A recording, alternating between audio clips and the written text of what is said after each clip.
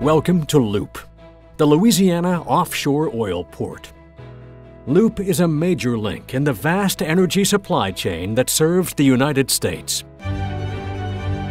Not only does Loop store crude oil in underground caverns, it offers customers the option of storing additional grades of crude oil in above ground storage tanks. Loop owns and operates a large modern tank facility at Clovelly. Each storage tank has a floating roof and an efficient drain dry bottom to provide flexibility when utilizing the tanks.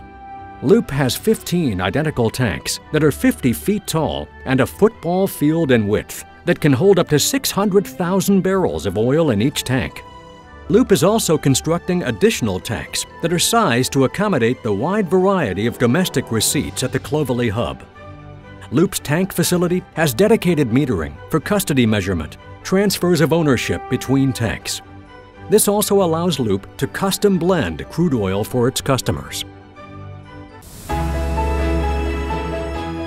Loop is an important part of the value chain between oil producers and the refiners who provide petroleum products to us. Whether offloading crude oil from supertankers or storing crude oil from the Gulf of Mexico, Loop is continually working to safely and efficiently bring petroleum resources to meet the nation's energy needs.